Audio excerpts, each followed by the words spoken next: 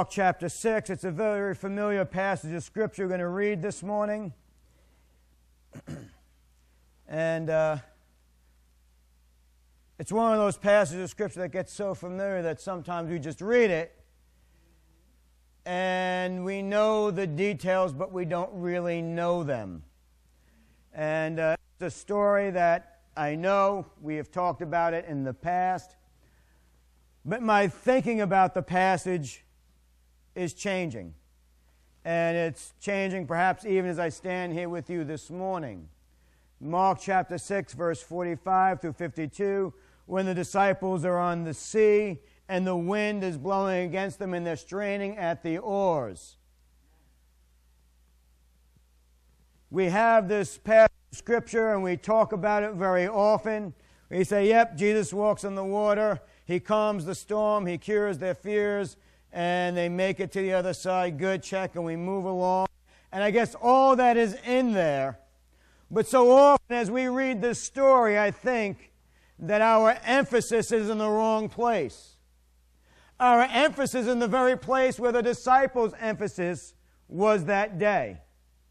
And uh, I think as we talk this morning, at least I hope as we talk this morning, you will see that we need to move our focus or for the things that we generally focus on and reset it someplace else. And that would be upon Jesus. Verse 45 Immediately Jesus made his disciples get into the boat and go on ahead of him to Bethsaida while he dismissed the crowd. After leaving them, he went up on a mountainside to pray. When evening came, the boat was in the middle of the lake, and he was alone on land. He saw the disciples straining at the oars because the wind was against them. About the fourth watch of the night, he went out to them, walking on the lake. He was about to pass them by, but when they saw him walking on the lake, they thought he was a ghost. They cried out, excuse me, they cried out because they all saw him and were terrified. Immediately he spoke to them and said, Take courage, it is I. Do not be afraid. Then he climbed into the boat with them, and the wind died down. They were completely amazed, for they had not understood about the loaves. Their hearts were hardened.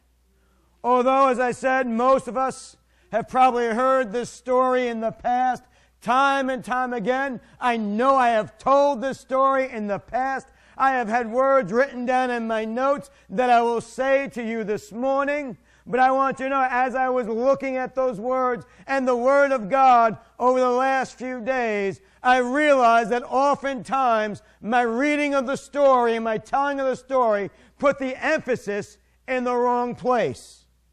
And I think oftentimes that translates into us living our lives with the emphasis in the wrong place.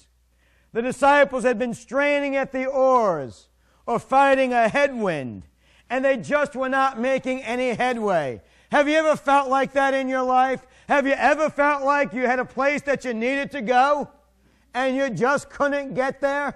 That the wind was blowing against you and the seas were bearing your boat, and the harder you struggled to move forward, the more it seemed like you stayed in the same place or lost ground.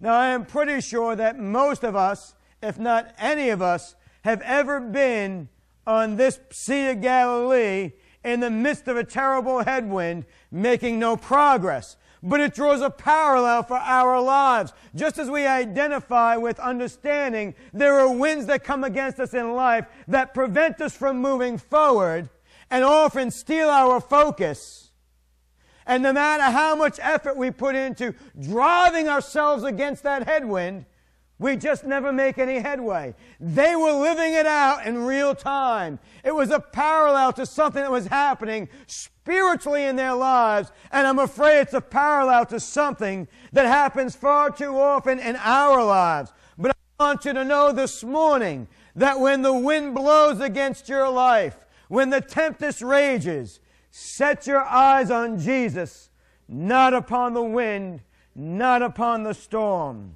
They struggle and they struggle in the darkness of night. And then in the midst of the darkness, something comes walking on the water to them. And in the midst of every attention being on getting that boat across the sea to the other side, they begin to focus on this figure coming out of the darkness and out of the mist. And what is the only thing that they're able to understand that this thing could possibly be? They believe it to be a ghost. And you know, we often say that these were fishermen and they were on the sea. And what a terrible storm this must have been because they were terrified by the storm that was battering their boat. But as I was reading the, sto- the story, I recognized that though they were probably concerned about the conditions of the sea, it doesn't mention that they were afraid or fearful until they saw the figure appear and start walking out amongst the waves and the wind. They looked out and they saw this figure in the distance coming closer and closer to them and they don't recognize who it is. Why? They're so busy about the wind and the waves and getting to their point B that they can't recognize Jesus walking in the midst of their storm. They're so busy wondering what is that in the mist that they're looking at Jesus and they can't recognize that Jesus is walking towards them. And as Jesus approaches the boat, in fact, I don't believe it was ever Jesus' intention to stop. So he was passing them by and they saw him and then he stopped. And he recognized that they were afraid. And he probably said, Meshuggah to these guys, they still don't learn. Actually, before he left. But as he approaches them, he says, Take courage. It is I. Do not be afraid. And then they recognize this figure that was coming out of the darkness of night upon the waves and amidst the wind as none other than Jesus himself. Now you might be wondering, because I was wondering, how in the world did they not recognize Jesus before he spoke to them? They knew who he was. They had been with him. They had been sitting for his teachings. They had seen some miracles. Yet in the midst of the storm, in the midst of the struggle, in the midst of making no headway on the way to point B, in the midst of that kind of battle, in the midst of needing Jesus, in the midst of should have understanding that Jesus, though physically wasn't with them in the moment, his spirit and his power and the love and the might of the living God was there with them. In the midst of all of that, when Jesus is beginning to show up on the scene physically, they still don't recognize him. Why? Because they were so busy trying to handle the situation and the circumstances. They were so busy straining at the oars against the wind. They were so busy being afraid of what it was that was approaching them that they could not recognize Jesus in the midst. I sometimes feel like the church is like that. The church gets so busy straining at the oars, trying to come up with new and unique ways to move forward to point B, that Jesus comes walking by and we think, oh, we don't want anything to do with that. It might be a ghost. And we even fear Jesus. Oh, that we would shut up long enough and slow down enough to stop and hear Jesus say, Take courage. It is I. Do not be afraid. I don't know what kind of experience you have, I haven't had with the Lord. But I know around here we have seen some pretty miraculous things that God has done on our behalf. We have seen the work and the move of the Holy Spirit. We have experienced the healing touch of the living God. We have experienced the sustaining power of God in our midst. And yet, so often we strain at the oars, thinking there's a point B that we have to get to. So often we focus on the storm around us, the wind and the waves. I said, I don't know how concerned the disciples truly were about the storm. I know they had to say, man, this is a bad headwind. But they were used to being on the water. They were used to fighting in those kind of conditions. Because if they didn't fish, they didn't live. Have you ever seen Deadliest Catch? The crab fishermen in the Baltic Sea? out there in the midst of the winter. Terrible. The boat covering in ice. In the dark of night, in the midst of hurricane force winds, snow coming down, 20 foot waves washing over the bow, bringing everything across the deck. They're out there because they're fishermen. You and I, we would have been in the, in the galley throwing up from seasickness. They're out there working 12, 18, 24, 36 hour shifts at a time. Get three minutes rest. And say, we found crab, let's go back to it. These were guys that were used to being on the water. I don't know if they were fearful of the conditions or not. It doesn't say they were. But when they did not understand who it was that was approaching them, they began to fear. Normally, we say you have fears in your life. Jesus walking on the water. I don't want to take that away from you, but I'm not sure if this is exactly the picture that's in this passage this morning. I want you to know when our eyes are focused on the stuff of life around us, we miss Jesus showing up on the scene and we begin to be afraid of who God is. We begin to miss who God is. Oh, we begin to struggle in our own efforts to find safety and to find security and to move ourselves forward. So often, when things get hard or tough or stagnant in life, it's not because there is no power to get us moving forward. It's because we are trusting in our own self efforts. We're trusting in the schemes of men to make our lives come under control. We struggle at the oars against the headwinds of life and we get nowhere. We just get consumed. So much so that we forget that we have seen and experienced the power of the living God. We forget that we are called by His name, that we are the people of His pasture and the sheep of His hand, and it is promised unto us a yes and amen. Oh, that there is nothing that we lack. There is no good thing that we lack in this life when we have Jesus. If we allow this continue on long enough, we get to the point that we stop recognizing our help. And we see Jesus in the midst of the storm coming towards us. And we don't even know that our help is drawing nigh.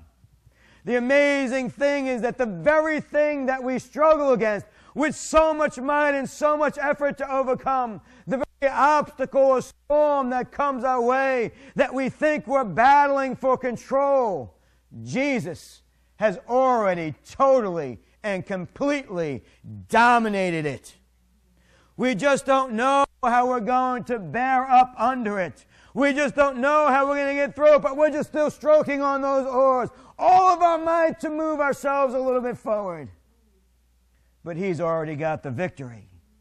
And it is so often the very thing that Jesus uses as a means to come to us in the midst of our self effort and doubt, in the midst of us thinking that we've got it all together or that we can actually get it all together. Jesus walks upon those trials and those winds and those seas so that he could get to us at the very point where we were missing the object lesson that Jesus is with us and that we can trust him. He demonstrated his control over their situation by walking on the water in the midst of the storm. And then by calming the storm when he gets into the boat. Oh, what a mighty, mighty, mighty God we serve. There's a reason when we shout and sing Jesus that we feel and we experience something. There are times when life appears out of control, but Jesus is always in control. There are times when it seems like there's nobody in charge, but I want you to know Jesus firmly seated upon the, uh, the, the throne of the universe. And if you and I will allow upon the throne of our hearts, we will not be moved. You see, Jesus is never tossed to and fro by the winds of life. He still walks amidst the waves and the wind of your life. And He has the power to bring you through. I'm sure that you have learned that some storms are just part of this fallen world that we live in. Some people will tell you you'll never have a trouble or trial once you come to Jesus. Some people will tell you you'll never have to walk through anything ever again, that you'll just be floating around on cloud nine playing a harp with a halo. Some of you knows that that may not exactly be the truth. Sometimes the winds that come against us are the predictable outcome of really stupid decisions on our part. But that's a different thing than what we're talking about today. Sometimes the, the storms of life just come because you and I are called by the name of Jesus. We are called by the name of Jesus. And this world and hell itself is against us.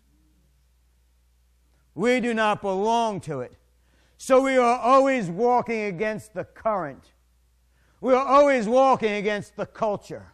We are always walking against the norms. We're always going a different way than everything and everyone else in this world is. You see, our eyes are set upon the author and the finisher of our faith. Our eyes are set on the mountain of God, and we are moving towards His purposes for our life, and everything else is streaming against us. You know, hell itself wants to take you out. And if we take our eyes off of Jesus, and instead of making progress against the culture, against the stream, against the wind of the day in which we live, we'll find ourselves spiritually straining at the oars, saying, Well, I'm saying all the right things. I'm confessing all the right things. I'm proclaiming all the right things, but nothing's happening. Nothing's going on. I want you to know Jesus isn't just worried about what you can confess and about what you can proclaim, but Jesus is concerned that you know Him and that I know Him deeply and intimately. You see, it's from that knowledge of who Jesus is and understanding that He walks in life with us, that in the midst of the blowing of wind that trying to impede your work for the kingdom, it is in knowing Him that gives power to our words, that gives power to our confessions, that gives power to our declarations. So often people want to tell you just say this or just do that. No, just know Jesus. You see, we all want something to do, but we need to know Jesus. See, we strain at the oars trying to do the religious thing. I want you to know that your finances won't save you. The political leaders won't save you. Your church denomination will not save you. Knowing Jesus will save you. Knowing Jesus will move your life forward, getting your eyes off all the stuff that you can control with your own self effort. That will give you abundance in life. That will give you power to stand when all else fails. That will give you authority to move against the current of the day in which you live. You see, God, in His might and His power and His majesty, He is your protector and He is your provider. There is no good thing that you or I or any man, woman, or child can ever do apart from God. It doesn't matter how religious. It doesn't matter how sanctimonious. It doesn't matter how many people we can get to agree with us. The power comes from knowing Jesus. We will always be afraid in the midst of the storm if we do not know Jesus. He may be walking on by but we will not recognize him. We must know Jesus. Our focus must be set on Jesus. Men will discourage you. Men will disappoint you. Men will come up short. Men will fail. But Jesus is always more than enough. You can never run dry on Jesus. When you are in the midst of a storm, it can be hard to see that every storm has an end. The storm, the wind begins to take on a life of its own in our minds, and we begin to play out a movie of things that are going to happen to us and how bad it could be. But I want you to know every storm comes to an end. A few years back, we had a hurricane come through. It wasn't a particularly big hurricane as far as category winds go, just a one. But it was a tremendous, tremendously long storm, and it kept drawing more and more moisture up from the coast, and it flooded the whole area. Towns were wiped away in water. Places flooded down the mountain in the valleys that had never seen in their lifetime. But you know what happened? The storm passed. It came to an end. But in the midst of that storm, it seemed like it's going on and on and on and on. And the longer it went on, the more our attention got focused on that storm. And the more that our attention was focused on the storm, the more we were sure it would continue on forever. But I want you to know this morning every trial that comes your way, every assault of the enemy that comes your way, every wind of the contrary things of this world that blows against your headway in God, it has an end date. It is not eternal. It is not almighty. It is not all powerful. It doesn't have to wipe you out. It doesn't have to hold you back. God wants you to be impelled forward. Every storm has an end. In this particular story, that storm ended when Jesus climbed in the boat. The wind subsided. John says, and suddenly they were on the other side. But I want you to know this some storms in life may be a little bit longer, some a little bit shorter. Some headwinds may blow a little bit harder, some a little bit less. But they all have an expiration date. But your Jesus does not. He always endures. Oh, and He is walking in the midst of your troubles and your trials to get to the place where you are. And you want to know something? It's not even so much that He needs to get there. See, He's already there in the midst with us. Sometimes we need a little reminder, but we should remember Jesus is with us.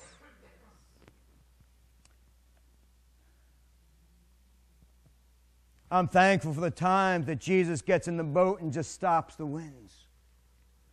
But I long for the days when I prevail in such faith that even if hell itself should breathe a strong headwind against me, and I have to struggle with the oars in obedience to God's command, I will trust Him to bring me to the other side. You see, that was the plan on this day. Jesus told the disciples, Get in the boat, go on the other side, and I will meet you there. Jesus didn't say, Get in the boat, and I'll walk on the water halfway and get in with you. Even when Jesus saw them struggling at the oars and decided it was time for him to leave, I believe his plan was still to walk on the waves to the other side and meet them on the shore. Why? Because they should have known that Jesus commanded them, get in the boat and go. And so they should have gotten in that boat and gone, and nothing should have held them back.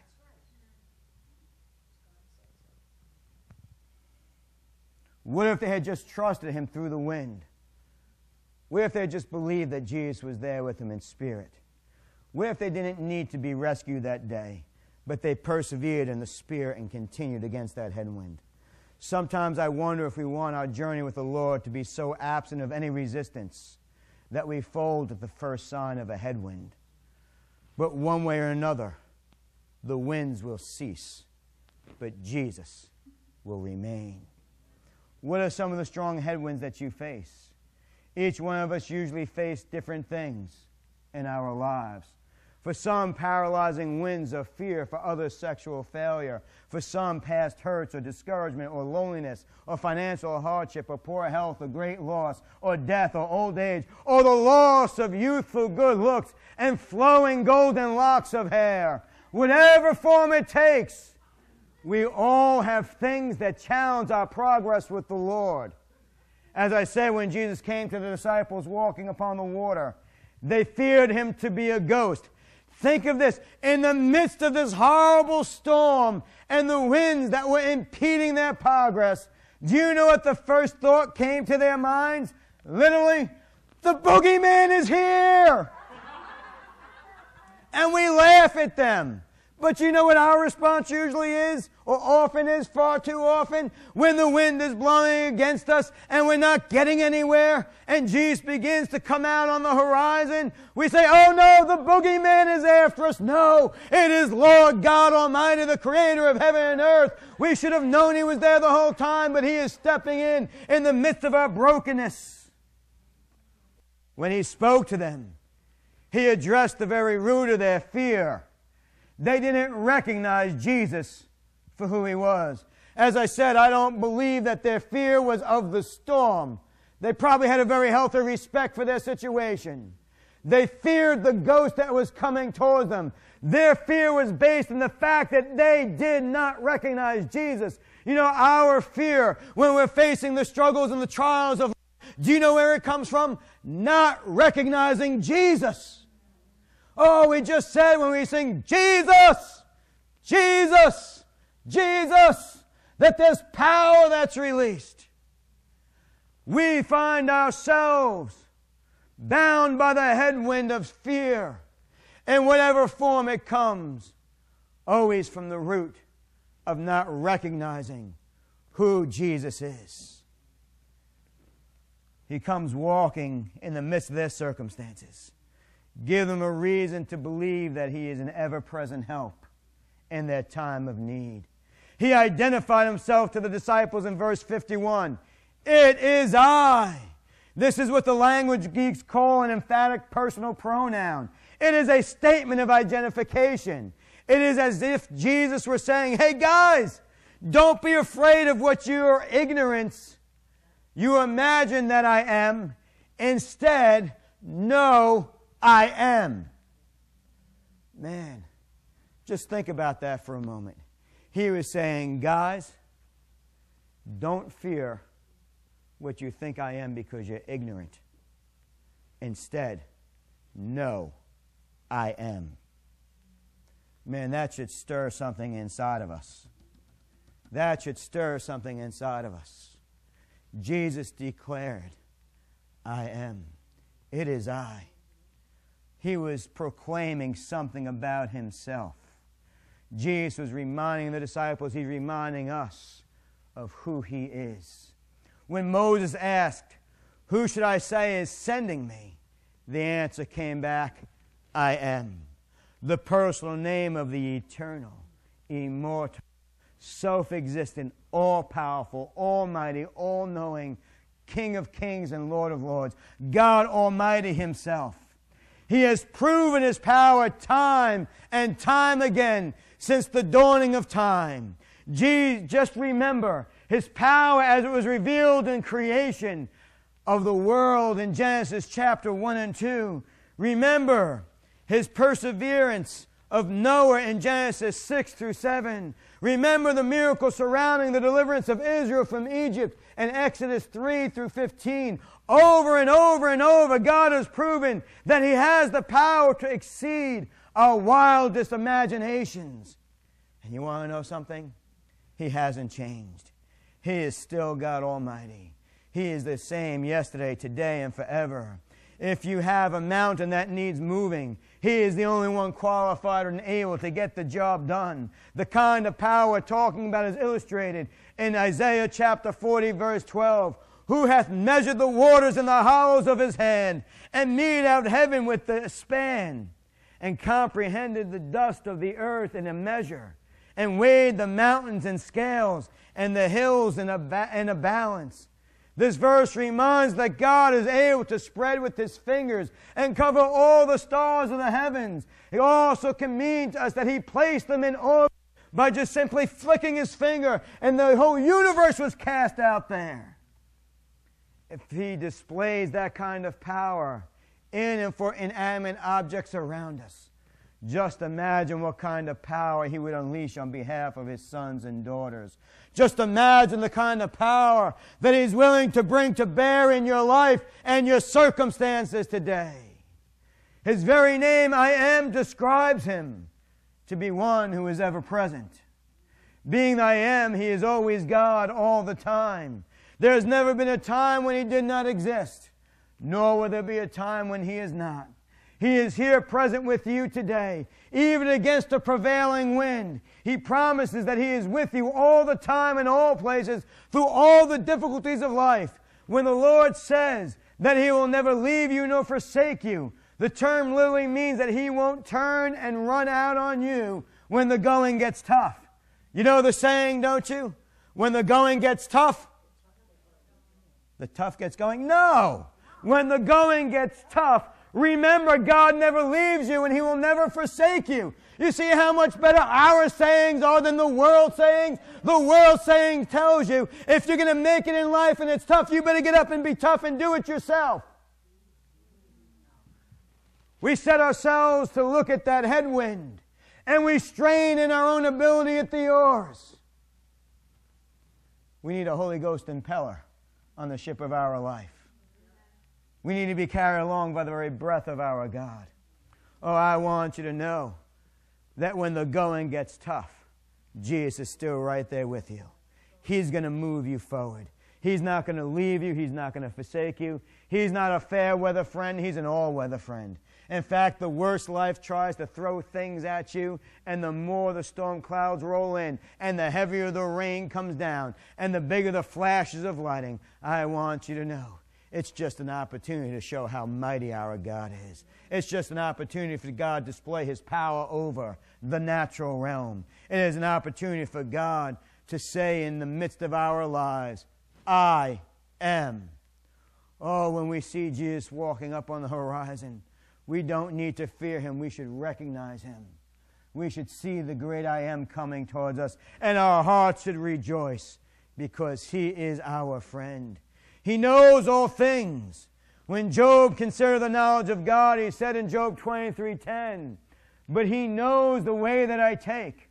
When he has tested me, I will come forth as gold." What this means is that God is worthy of your trust because He knows exactly where you are and what you are facing, second by second as you journey through this life. He hasn't missed a thing that has happened to you, or is happening to you, or will happen to you. He knows and He understands, and He is able to help in your time of need. You can trust Him. He sees your steps, and He will get you through to the other side. He is the great I am. His name declares his character. He is Jehovah, the Lord, who is our provider, our shepherd, our peace, our healer, our righteousness, our banner, our sanctifier. He is the Lord Most High, and He is the Lord God who is always there, regardless of where we find ourselves or what may come our way. Simply rest in the fact that Jesus is I am. In the Gospel of John, we have the I am statements of Jesus. I am the bread of life, he said. I am the light of the world. I am the door. I am the good shepherd. I am the resurrection and the life. I am the way, the truth, and the life. I am the true vine. And in John chapter 18, when the soldiers came to arrest him in the garden, he said in verse 5, I am and there was a release of power. And the soldiers drew back and were knocked to the ground. That is the very power that we're talking about. When we speak the name of Jesus out of a faithful relationship, there is a release of power that knocks back the enemy, that drives away the imposing wind and causes us to move towards our goal and our purpose in Christ. When Jesus came to the disciples that night, they were a hot mess. They perhaps were thinking they're never going to get to the other side. If the storm doesn't break, then maybe we just might really be in some trouble. But Jesus had one more area to address in their life. He wanted them to know that, yes, as I said, this storm has an end, but they had a future. God wants you to know this morning the storm that you're facing, it has an end, but you have a future. In verse 45, depending on the version that you're reading from, Jesus made or compelled them to get into the boat and go on to the other side. That means he was pushing or forcing them to get in that boat and to go on the other side. He knew exactly where they were. He knew exactly where he was sending them. He knew exactly what they would encounter along the way. He was completely responsible for where they were in that boat at that moment of time. And you want to know something? He had a plan for them. When they reached the other side, and Jesus came out to them in the water that night, they recognized him and allowed him in the boat, and he stilled the waters, and he got them to the other side. Why? Because he wanted them to know that there is a purpose for their lives. There is a purpose for your life. You might feel like you're stuck out in the middle of the lake today. You might feel like you're not making any headwind or that you're being pushed backwards. If you would set your eyes on Jesus, you'd recognize something very real. The storm has an expiration date, but Jesus is bringing you to his purpose for your life. Jesus is bringing you to a purpose of accomplishment for his kingdom in your life. You see, he knows the plans that He has for you. And they are good plans for you.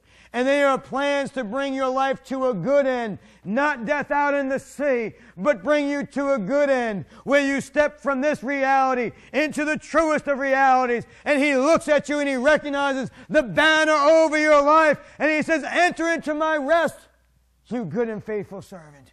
You have done so well when he spoke to them, his words, I believe, were words of correction as well as comfort and of hope.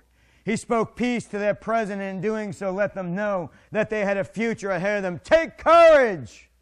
Do not be afraid. Again, the language geeks, the phrase is present active imperative. Literally, stop fearing now and never fear anything else ever again.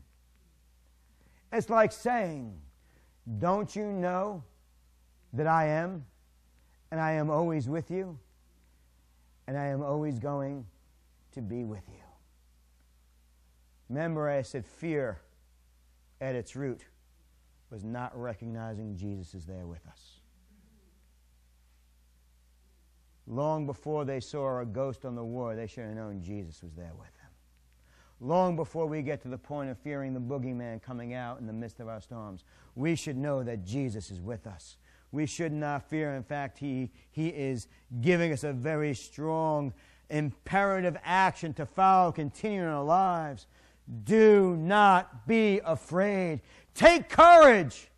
Grab your bootstraps in the Spirit and pull up Holy Ghost stirrups so you stand tall and mighty in the power of the living God. Stop fearing now and never fear anything again. Recognize who I am. Often, from a human perspective, life is tough and the future looks bleak, and there may not seem like there's a lot of hope. Will we escape disease? Will family members survive the pressures of life? Will, those that we love be okay? Will we have enough resources for the future? Will we ever make any headway against the wind, or will we struggle at the oars and never get anywhere near the other side? In the midst of all that and more, Jesus is, always was, always will be, always is present, right now. We talked about the word Hineni, and we applied it to men responding to the call of God, but we also saw that there was times when God said, Hineni, I am here present with you. Whatever's going on, I am in the moment. I'm cognizant of you. I understand. I see. I care. I am here. Why can we never fear again? Because we come to a religious, intellectual understanding? No. Because God wants to drop a revelation in our hearts that we understand in our spirits that God is here with us. That we have taken up a living quarters with Him and He with us. That we can abide, in Him and he can abide in us. That we can remain in his word and his words can remain in us. And they can wash and renew our minds so that our thought process is not natural but supernatural. So our eyes don't focus on the troubles of life and the winds of hell that blow against us, but our eyes look beyond the wind and beyond the horizon and see the mountain of God and know that Jesus is saying, I've got a place for you just over the hilltop. I prepared a place for you and I am working to bring you onto myself and nothing will ever ever truly destroy you in this life, but there is hope and there is power and there is life and there is victory for you. Regardless of where the road of life leads us, God knows how to take care of His children and how to see us through. He has a plan for your life. You have a future, and He can be trusted. Never count God out. He will never leave you, and He will always be at your side. No matter what you face in life, He is always working for your good. Situations arise that you have no control over. There may be rough times ahead for the church and for God's people. There may be economic crisis. There may be political upheaval. But through it all, know that God is enough.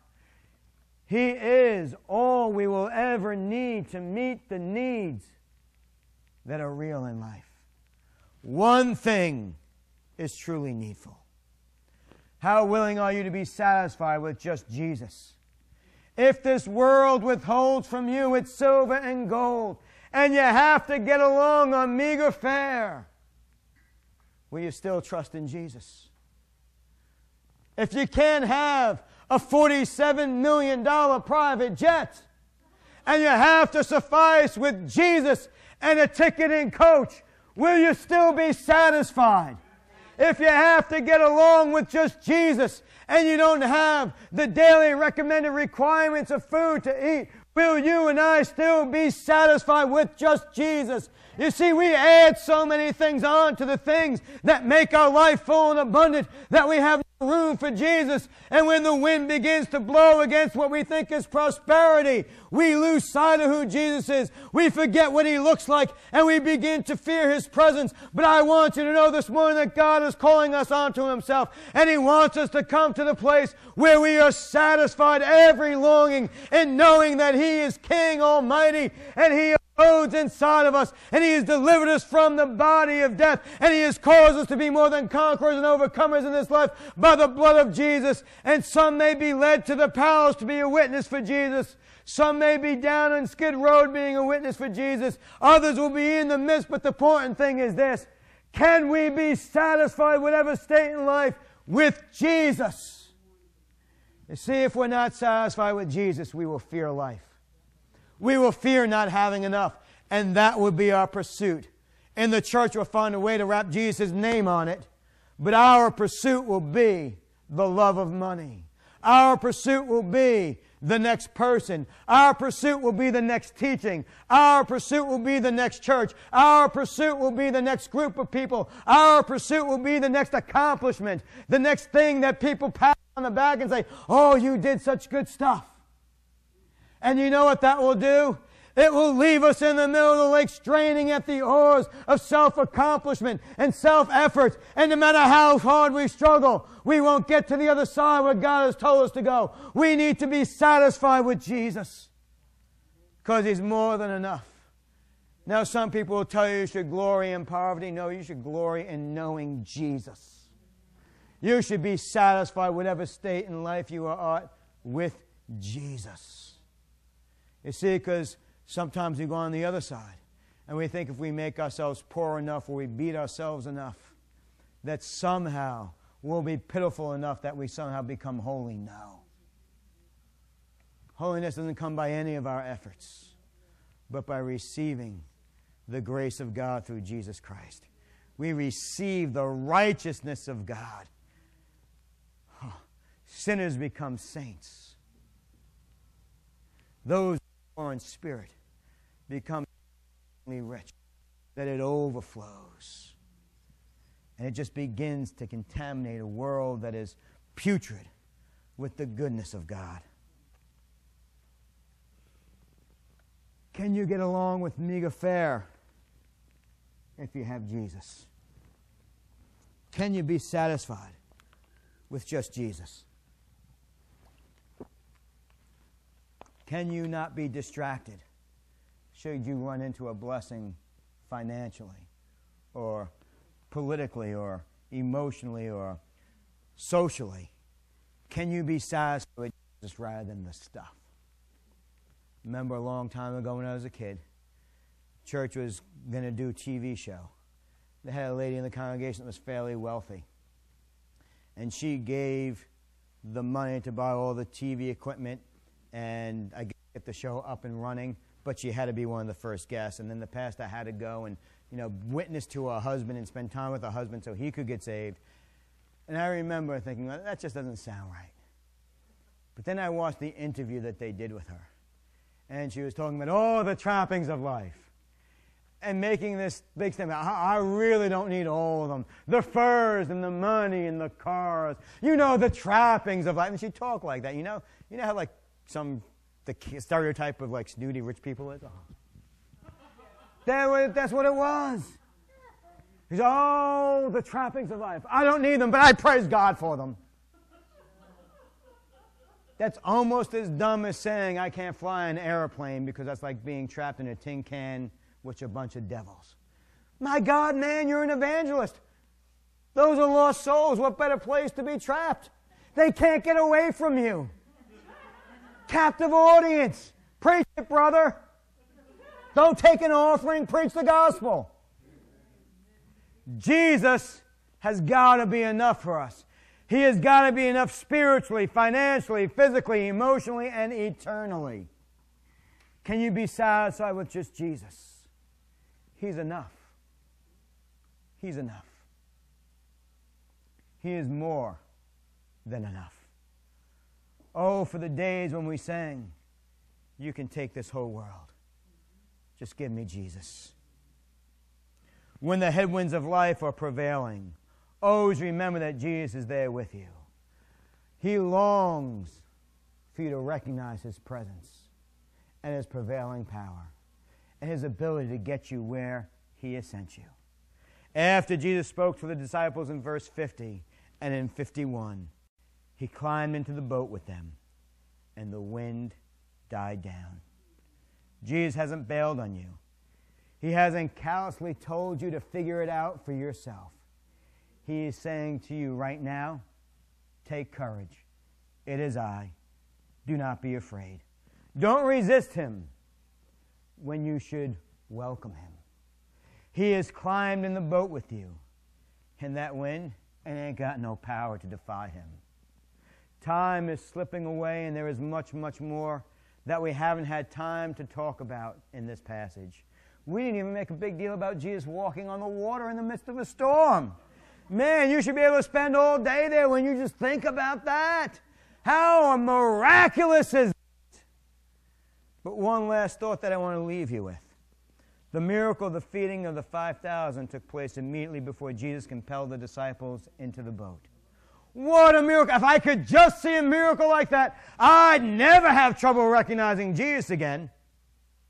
That should have stirred faith and understanding in their heart concerning exactly who Jesus is. But the end of verse 51 and 52 says, They were completely amazed. One, that Jesus was on the scene walking on the water, because they thought it was the boogeyman. Two, that when he got in the boat, the storm had subsided. Why? Verse 52 They had not understood about the loaves, their hearts were hardened. They had seen enough to know better and to have concluded more about who the Messiah was that they were following. But it was as if a thick skin or callus covered their understanding. The word hardened, puroa, brings to mind an elephant's foot. Heavy layers of very thick and tough skin prevent any kind of dexterity or feeling. You and I have seen enough to know better of our Jesus. We ought not need to see him physically get in the boat. We ought not need to be surprised when our struggles are just a means for us to get to the other side with Jesus prevailing on our behalf. We shouldn't be amazed when the journey is difficult but successful. We shouldn't be amazed when Jesus shows up on the scene that the wind ceases. We shouldn't be amazed that the God who has done miracle after miracle after miracle in our lives is ready to do another miracle for us today and tomorrow and carry us through into that time when we step out of this world into the next. We shouldn't be amazed when the power of God manifests and demons are cast out. We shouldn't be amazed when sick people are made well. We shouldn't be amazed when the power of God does what's impossible. We should know Jesus and we should understand his ability. We should recognize Jesus, whatever the storm is blowing around our lives. We need to get our focus off of the wind and waves and get our eyes upon Jesus, knowing that he is the author and the finisher of our faith and that he is working to get us to the place that He's told us to get to. Will there be struggle? Yes. Will there be hardship along their way? Will there be testing and trials? Yes, yes, yes, and yes. If someone told you get saved and you'd never face another difficult thing in life, If that was the only thing that drew you to the altar, you need to get saved today on the fact that Jesus is more than enough for your life. That you are a sinner lost in sin, that you are wicked and depraved, and only confessing your sin before Jesus and believing that He is the Christ, the Son of the living God, and that He went to Calvary on your behalf to bring your sins, your condemnation to the cross, suffer in the grave, on the third day raised to life, defeating the power of your sin and satisfying the wages of your sin, the debt that you owe God the Father. If anything other than that has been your salvation, I want you to know you need to get saved today. That's why you can't recognize Jesus in the midst of the headwind. That's why when the going gets tough, you get going the other direction. That's why you don't know that God will never leave you or forsake you. That's why fear rises up inside of you and you're out of your mind because you're trusting in what you can do, what you can strengthen the oars yourself. But if you will trust in Jesus to get you to the other side, you will experience true life abundant. Those things that have attached themselves to your life, those very voices of the enemy, of the strange that have been witnessing in your head day after day, week after week, year after year, decade after decade, telling you that you'll never be free, you'll never be truly alive, that you'll never be enough, that you'll never this, that, or the other thing, that you'll never make any progress. Those are the voice of the enemy.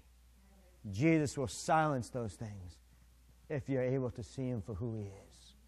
The I am that I am. The almighty, powerful God that created heaven and earth by his mere desire for it to be so says, Do not fear. It is I. Do not fear. It is I. And I want you to know better than in the boat, if you're born again, He's in your heart. He is with you today. He is with you today. Yes, we have emotions. Yes, we have feelings. Yes, during the hard times, times when people betray us, we may feel hurt, we may feel pain. But know something Jesus is working to bring you through. He will never leave you, never forsake you. Get going with God get going with God. He is more than enough. He is more than enough. Trust Him this morning with all of your heart, with all of your soul, with all of your mind. Trust Him this morning. He never will fail you.